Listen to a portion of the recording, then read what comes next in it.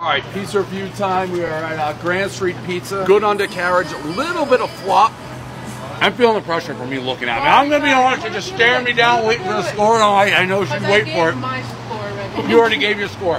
What's your favorite pizza in New York? Or. I take her score very seriously. I got it on the count of three. We'll say it together. All right, one, two, three, eight, two. Seven four. What would you give Lucali? Nine two. I'm embarrassed now because I feel like I'm supposed to be this tough scorer, and you just You trained me well. did you hear that? She goes, I trained her well. That's a hard score. What's your name? I'm sorry. Jonah. Jonah ruined my pizza credibility. You have a slice? Yeah, so you Yeah. can't say no to one of yours. Because a slice sometimes is different for a whole pie. It's not because I'm feeling pressure, but it's actually better. I'm gonna eight one. All right, all right, eight one. No, there we go, eight one. Now we're back. Thank fucking God. I, I was getting a little nervous there that she killed my reviews. Eight two. Very good.